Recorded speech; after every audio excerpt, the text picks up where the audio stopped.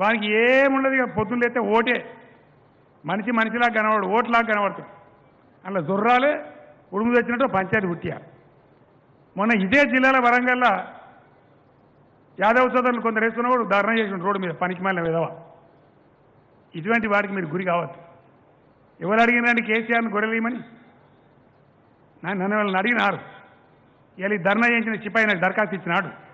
ఇచ్చిరా ఇచ్చినారండి? ఇయ్యలే కదా. రెండు వేల రూపాయల పెన్షన్ ఇవ్వమని కేసీఆర్ని వాడిని అడిగినాడు ఒంటరి మహిళలకి ఇవ్వమని వాడిని అడిగినాడు నన్ను.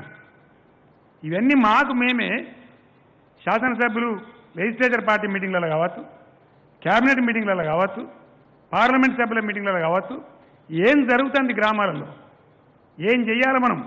ఈరోజు ముఖ్యమంత్రి కేసీఆర్ గారు జనగామ జిల్లా కొడకండ్లలో ఆయన పర్యటన సందర్భంగా అక్కడ జరిగినటువంటి సభలో మాట్లాడుతూ చాలా అనుచితమైన వ్యాఖ్యలు ముఖ్యంగా యాదవుల మీద గొల్లకుర్మల మీద చేసినటువంటి పరిస్థితి ఉంది.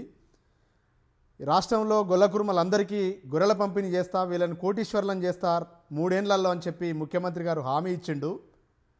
కానీ ఇప్పటికీ సగం మందికి మాత్రమే ఇచ్చిండు మిగతా సగం మందికి ఇవ్వలేదు. గొర్రెలు వస్తాయనే ఆశతోటి వాళ్ళ రాష్ట్రంలో సుమారు ఇరవై ఎనిమిది వేల మంది రెండేళ్ళుగా డీడీలు తీసి ఒక్కొక్కరు ముప్పై ఒక్క వెయ్యి రెండు వందల యాభై చొప్పున డీడీలు తీసి వేచి చూస్తూ ఉండ్రు డీడీలు తీసిన వాళ్ళకి గొర్రెల పంపిణీ చేయండి మిగతా సగం మందికి కూడా గొర్రెల పంపిణీ చేయండి అని చెప్పి అధికారులకి అనేక రూపాలలో మెమొరాండాలు ఇచ్చినాము మంత్రి గారికి ఇచ్చినాము ఎమ్మెల్యేలకు ఇచ్చినాము.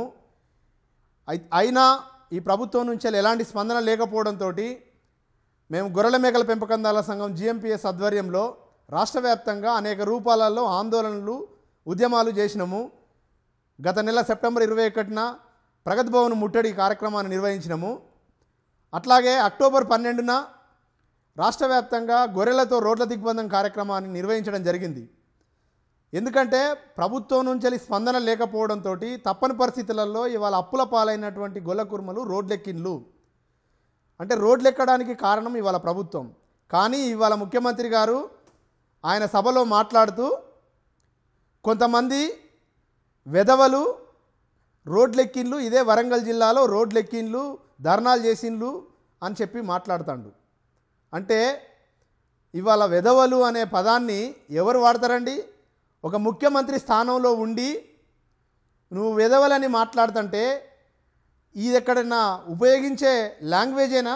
ముఖ్యమంత్రి స్థాయికి తగ్గట్టుగా లాంగ్వేజేనా అనేది అర్థం చేసుకోవాలి. ఇది వెనుకట దొరలు వాడే లాంగ్వేజ్. అంటే ఇంకా ఫ్యూడల్ భూస్వామ్య లక్షణాలని ముఖ్యమంత్రి గారు వదులుకోనట్టుగా కనబడుతుంది.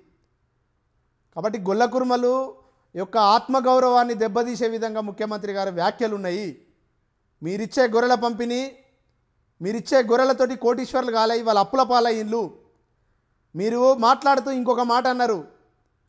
ఏంటిది? అయ్యా ఓట్ల కోసం రాజకీయాలు చేస్తారు కొంతమంది అని చెప్పి అన్నారు. ఎవరు వాడుకున్నారు వీళ్ళ ఓట్లను? మొత్తం ప్రజానికం చూస్తున్నాను ఈ రాష్ట్రంలో. మొన్న జరిగిన రెండు రెండు వేల పద్దెనిమిది ఎన్నికలలో గొల్లకుర్మలందరూ మీకు ఓట్లేసిండ్లు. ఎందుకు? గొర్రెలు ఇస్తారని చెప్పి ఆశ పెడితే కొంతమందికి ఇచ్చిళ్ళు మిగతా వాళ్ళకి ఇస్తారు కావచ్చు అనే ఆశతోటి మీకు ఓట్లేసి రెండోసారికి అధికారంలో తీసుకొచ్చిండ్రు. అంటే ఓట్లను ఉపయోగించుకున్నది మీరు. ఇవాళ గొల్లకుర్మల్ని అన్ని రకాలుగా ఉపయోగించుకున్నది మీరు. గొల్లకుర్మలు నీతిని ప్రదర్శించిళ్ళు ఎప్పుడు ముఖ్యమంత్రి గారిని గొల్లకుర్మలు ఒక్క మాట కూడా మాట్లాడలే. ఇంత ఉద్యమం జరిగినా ఎన్నడూ వ్యక్తిగతంగా మేము మాట్లాడినటువంటి సందర్భాలు కూడా లేవు.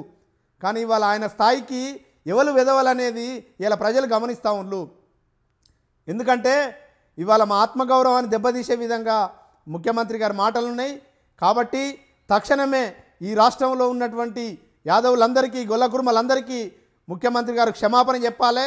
ఎందుకంటే మీరిచ్చిన గొర్రెలతోటి కోటీశ్వర్లు కాదు రోడ్డున పాలైన్లు కాబట్టి తక్షణం ముఖ్యమంత్రి గారు ఈ మాటల్ని వెనక్కి తీసుకొని ఇవాళ రాష్ట్రంలో ఉన్నటువంటి గొల్ల కురుమలందరికీ గొర్రెల పంపిణీ చేయడంతో పాటు తమ సమస్యల్ని పరిష్కారం చేయాలి.